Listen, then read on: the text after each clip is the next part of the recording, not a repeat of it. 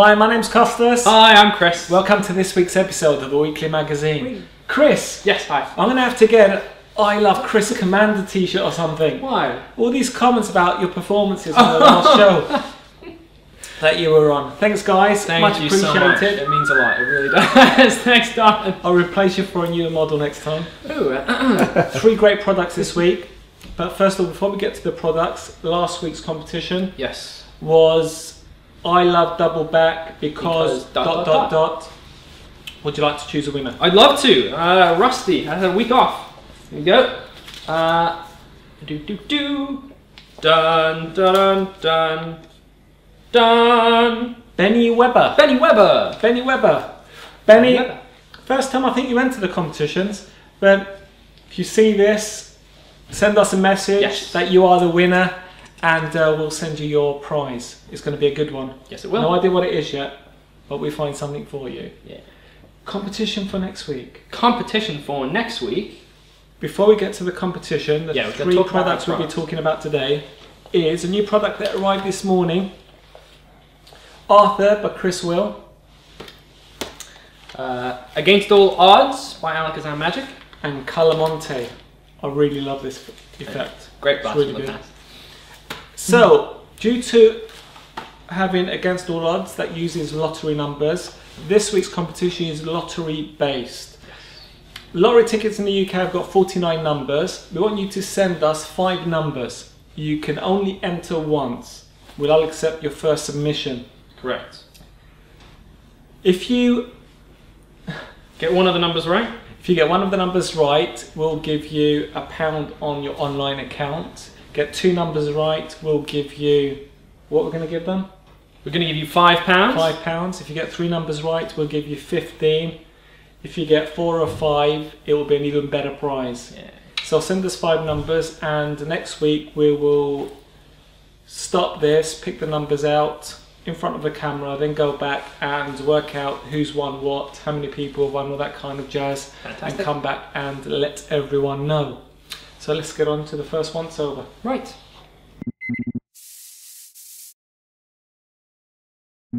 Our first once over this week is Arthur by Christopher Wiehl.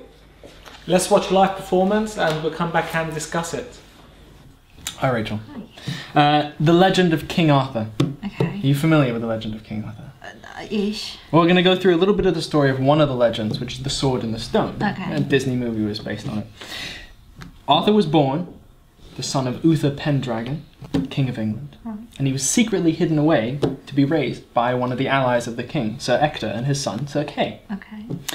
He didn't know anything about his royal lineage or anything like that. And then Sir Uther Pendragon became very ill and died. And since there was no heir to the throne, per se, because they didn't know about Arthur, um, they were called upon Merlin, the great sorcerer, to find a solution. Yeah. So he erected a stone in the middle of a churchyard Westminster.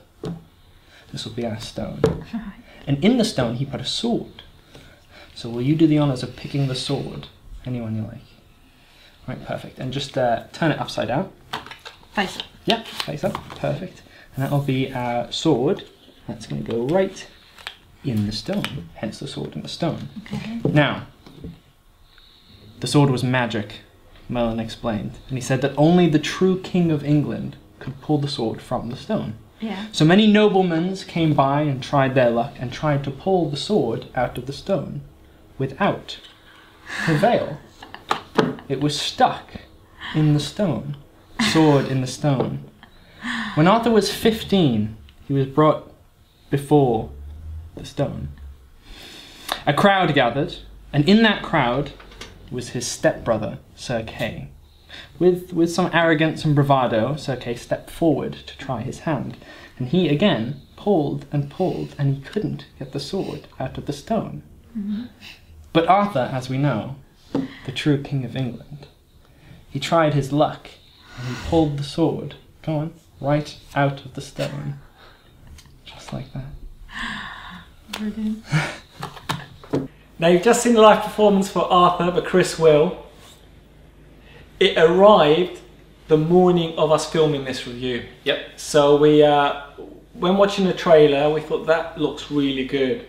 So as soon as it arrived, we uh, played around with it, We learnt it, went out and performed it, and all I can say is that this is a cracking effect. It really is. It really is.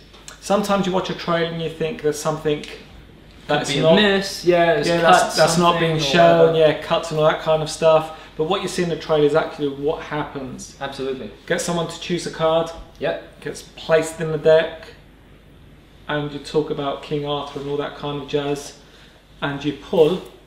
You pull. You put the card in, and you pull the pack out, and the card. And then you can in. separate it and take the card out. Yep. And take the card. Whoop. Which is that. There is really nothing we there's not a lot you can say about this effect because it's what it is. What you see is what you get. It's a solid effect. Very solid, Solid. effect. Yeah. solid effect. A bit of hint there. Um, if you like what you see, you're going to like performing it. yeah. If you like what you Uh, see, that's what you get. You can't perform many effects with the deck, it is gimmicked. Um, Yeah. If you're going to perform packet effect, yes, you can, but you are limited to what you can do. Yes. It's really well structured, Yep.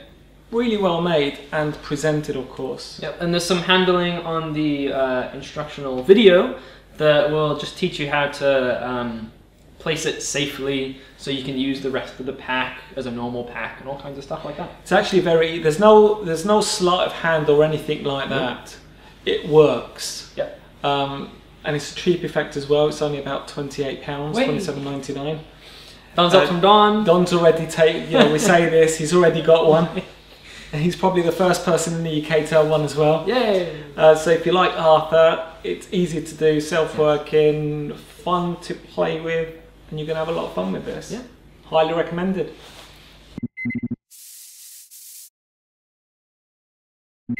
The second one sold today is The Against All Odds by Alakazam Magic. Let's watch a live performance of Chris performing this, and then we come back and have a good discussion about it. The lottery. Okay. There are 64 million people in the UK. A bit more than 64 million. Okay. If each one of those person played the lottery, Mm-hmm. that would be a 64 million to one chance that you or I could win the lottery. Yes. But it's been done. People have won, so it's not impossible. It's just very improbable. Yeah. So inside this little envelope is a lottery ticket. Okay. You're gonna hold on to that. Okay. Okay, so I can't come near it. And when the lottery became very, very popular, especially in the 50s, you used to be able to go to shops and find novelty ways of picking your lucky lottery numbers. Some people use their birthdays and so forth and so forth, so you think it's lucky, or have unlucky numbers like 13 that they never pick. Um, but I just went to the pound shop and picked up one of these. They have them. And what you're going to do is you're going to pick some lottery numbers at random, hopefully as, as random as we can. Um, but in the UK, this is a deck of 52, but in the UK, the lottery only goes up to 49. Mm-hmm. So we don't need 52, 51, or 50. And the rest are shuffled random attack. So here's what we're going to do cut the pile and complete the cut. So we don't, yeah, perfect, put that on top. And do that as many times as you like, so you don't know what the top card or the bottom card is, and so they're thoroughly mixed. Yeah, that's fine. Yeah, that's fine. Good. Now, I'm going to leave this totally up to you. Okay. Take as many cards off the top and put them to one side as you like. Yeah? Mm-hmm. Good. Now this is up to you. Which pile feels lucky? That one. You sure? Yeah. You don't add any more cards to that? Leave that as is? Yeah. Yeah? So we're going to take these, all these, Yeah. fill them to a last chance. Yeah. Yeah? Okay, good. Perfect. I want you to take those, right? And I want you to deal down onto the table. Yeah. As long as you have more than six cards, take the top card, put it on the table. And as long as you have more than six cards, because there are six numbers in the lottery, Mhm. you can deal as many cards as you like. One, two, three, four, five, six. Right, so you only have one. Do, actually, no, keep that. Do you want to get rid of it or keep it? It's up to you. I'll get rid. You get rid of it. Yeah. Perfect. So we're down to exactly six cards. Yeah. The middle of the pack. Mhm. It's up to you. Take them and just deal six cards. Down. Up. Turn Down. Yeah, face down. Perfect. Great. So six cards, Yeah. six random lottery numbers. Yeah. 1 through 49. Yeah. Right, I'm going to take them, and uh, you get to do the honors of opening. I'll put them in uh, numerical order because they're a little mixed up. Um take the lottery ticket out.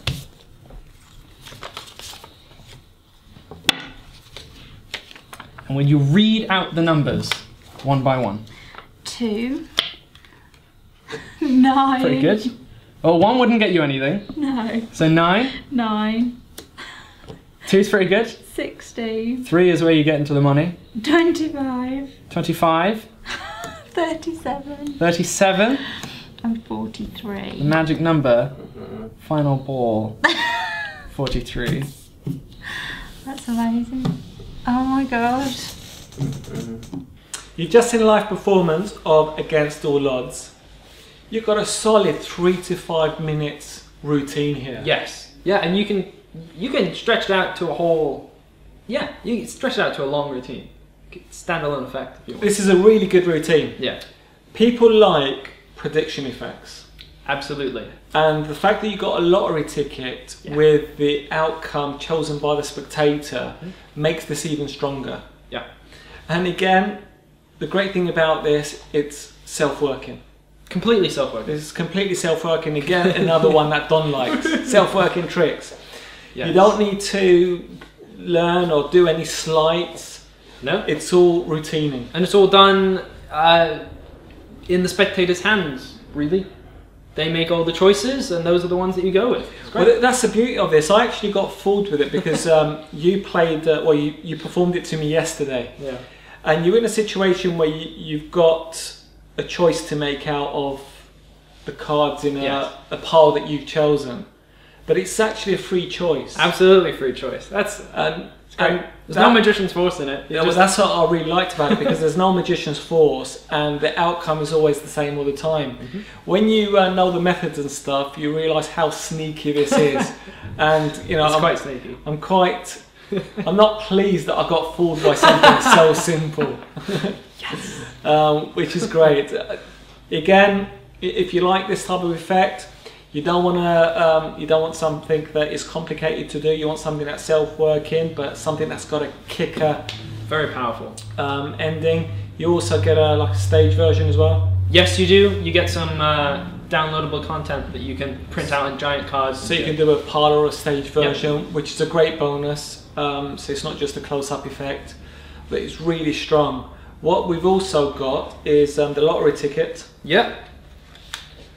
This was made by um, Chris Commander to look like a lottery ticket, so you can actually hand this out Yes. um, at the end. Now we've done this, so everyone that buys an Against All Odds from Magic Tao will receive a PDF in order to print these off, and it's just great. It's a, it's an additional souvenir. Of course, if you wanted to, you can go to um, your local shop and get a lottery ticket with the numbers chosen, but they will be stamped by date. yes. Yeah. uh, I so you've got a specifically made this so it doesn't have a date on it at all. And we've got a little story around it. It's the, the lottery of Magic Dale or Dale or whatever Yeah. and all that kind of stuff. It looks authentic as far as anyone's concerned for the purpose of a magic trick. Yes. Um, and it's really well done. Fantastic work, Haka- La Kazam, shall we say. And this is something I will be um, I will be using. I think it's great and Yeah. next time next opportunity I'll be dishing it out.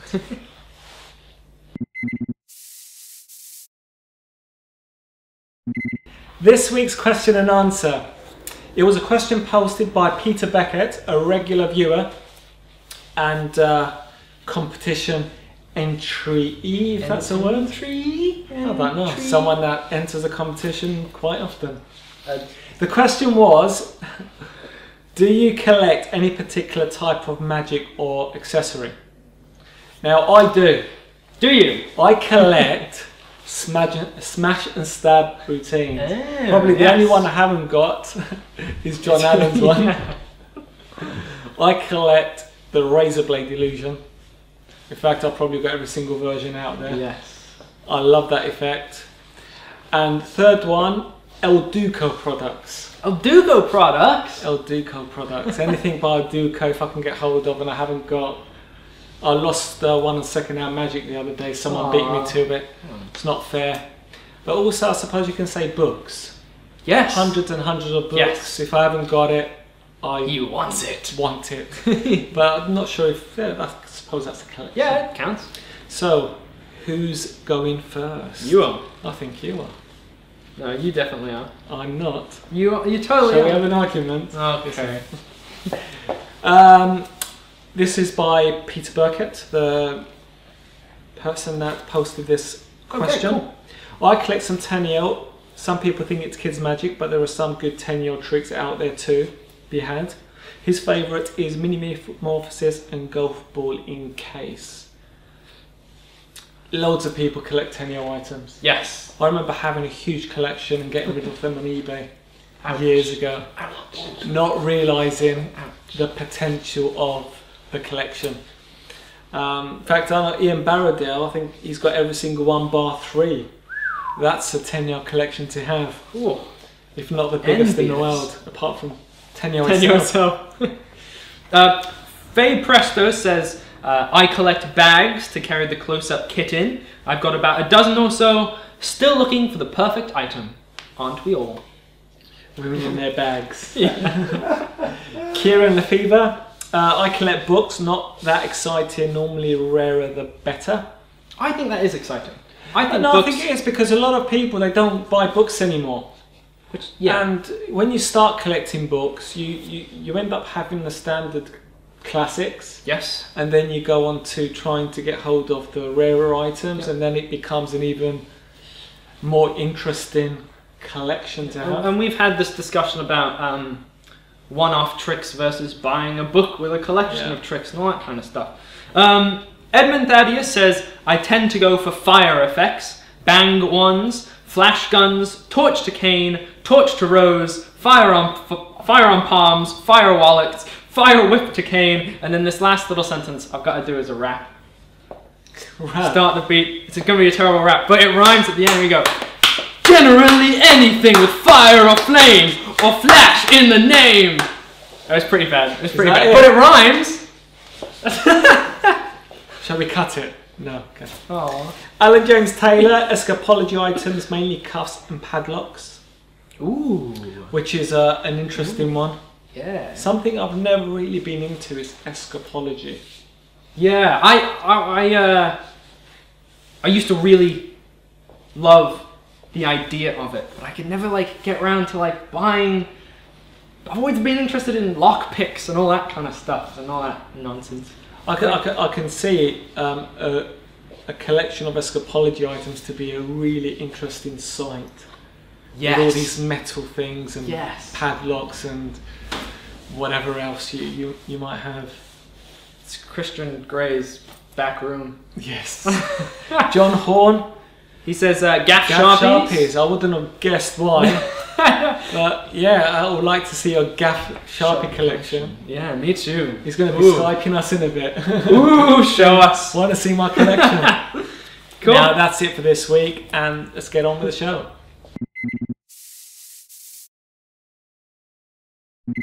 This week's blast from the past is Emerson and West's Color Monte. Let's watch a live performance, and we'll be back to discuss it. When I was in France, I got hustled by this Frenchman. No, seriously. Right, okay. In Paris. Because, you know, at least in Las Vegas, you've got hustlers all the time, but you don't Yeah. expect in Paris. But there are some. He took out this little envelope, and it had cards in. It had three cards in. You can see, three cards. Just like that. You put uh-huh. that wallet to one side. Now, the three cards, one had a red diamond spot on, Another had a red diamond spot on, and the third one had a blue diamond. Right. Now, this was sort of like Find the Lady. So the blue diamond spot card was the magic card. Okay. He said, That's the one you have to find. Right? So as long as you can tell me where the blue spot card is, I will give you a euro. Okay. So I thought, That's okay. But while he was explaining this to me, he took the blue card and he put it on the bottom. Just like that. So then he asked me, he asked me, Where do you think the blue spot card is? I thought I'd had him. I said, It's on, it's on the bottom. It's on the bottom. I saw you do the move. He said, Unfortunately, you owe me a euro. I said, Well, okay, fine. 50 50. If it's not on the bottom. It's got to be on the top. He said, That's another euro you owe me. He said, Well, if it's not on the top, it's got to be in the middle. It's got to be in the middle. You've got three cards. It's got to be in the middle. He said, Yeah. No, that's another euro you owe me. I said, Well, you know what? This is ridiculous. I bet you don't even have a blue card in there. I bet you switched it out. He said, That's another euro you owe me. I said, Well, fine. That's impossible. If it's not on the bottom, it's got to be on the top. It's not on the top. I said, If it's not on the top, it's got to be in the middle. It's got to be in the middle. But once again, he said, You owe me another euro. It's in the middle. I said, It's impossible. I've seen three red and three blue. You've got to have more than three cards. He said, You owe me another euro. I only have three cards. He said, You know what? I'll give you a chance to get your money back. Because I was by this time I said I quit. I'm out. I'm out. I'm out seven euro. I'm not going to do anything. I'm done. So he said I'll give you a chance to get your money back, double or nothing. What I'll do is I will show you two of the cards. All you have to do is tell me what color the third card is.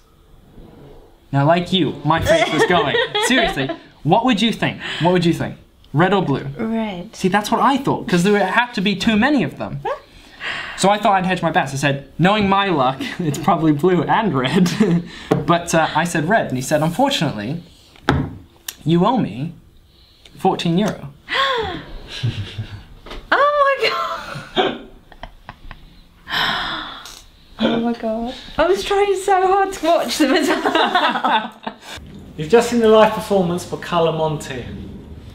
I really like this effect. What a classic! In fact, I think I'll say I really like this effect for all our blasts from the past. Yeah, but that's that's the cool thing about blasts from the Past. We sometimes dig deep and find products that either we've forgotten about or just are playing good because they're classics. They're good. You perform these effects, you get, especially Color Monte, you get so much enjoyment out of performing this. With the right story, there's a lot of fun to be had. With current Magic, it seems that I don't get as excited performing them as I do these classics that we've been doing for years. Yeah. You know, it's a cheap and cheerful packet trick. It's got a great story to it, and the visualness of the cards and Yeah. Yeah. all, yeah, yeah. all that kind of stuff is very strong. Yeah, the surprise ending is what make, actually makes it okay. Absolutely. I prefer the American version because I remember the, when it first came out. Of course, it was the dollar version, diamonds and dollar, fourteen dollars, whatever it was, and you had the story about going to Las Vegas and you're at a casino being hustled on the corner of um, of the road and that kind of stuff, and it had a great great hook to it. The UK version does it have such a strong hook? Being based in the same country that you are, not sure. But whatever version you got, the, the routine is exactly the same, and your patter will be slightly varied. That's a it's a good point though, because talking about that's what I like about all the products we have this week, are the fact that uh, they all are story based. Yeah. The trick works intricately with the story. I like that. It's great when you have a product that's got a story rather than just a, a quick visionless thing that Yeah. is fast and it it's finished before it started type Yeah. thing. So all these effects that we've got today are really good. And Color Monte, if you haven't come across one, again I say it's cheap, buy it. You'll have a lot of fun with it. It's not that complicated to do. No, it's the same moves twice. You just need to remember the sequence. Yep.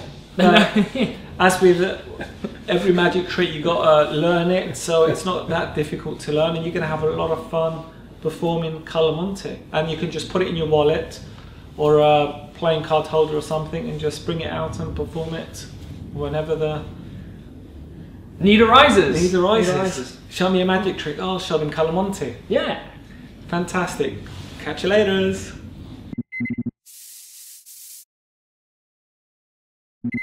This week we spoke about three great effects.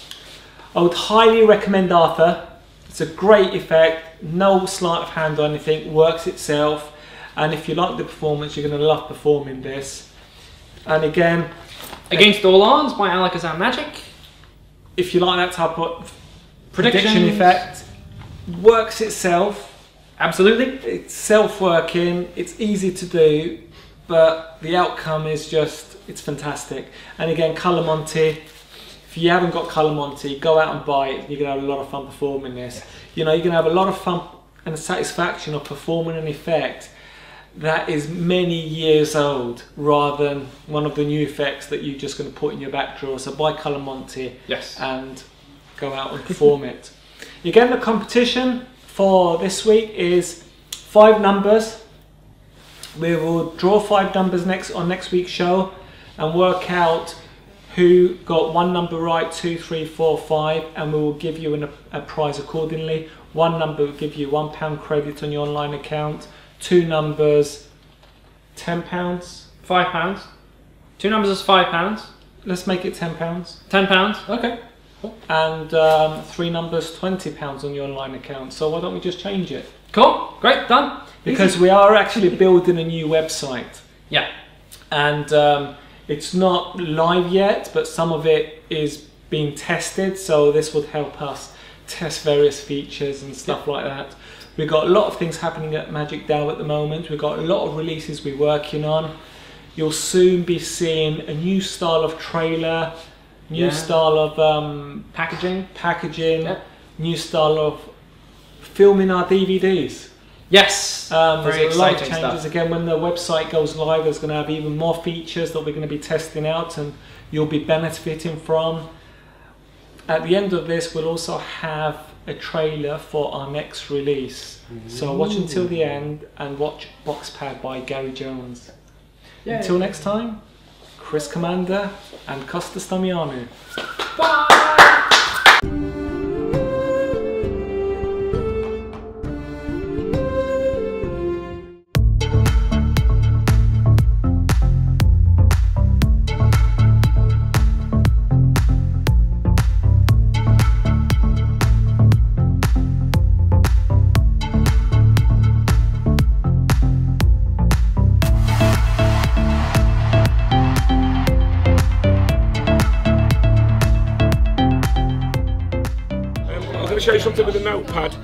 Pen. Right now, I'm going to try and distract you for a second, and the pen is going to change into a pack of cards. Sorry, what I meant to say was that the, uh, the, the notepad is going to change into a pack of cards. It's, it's happened. Oh god. I did, I did say it was going to be quick.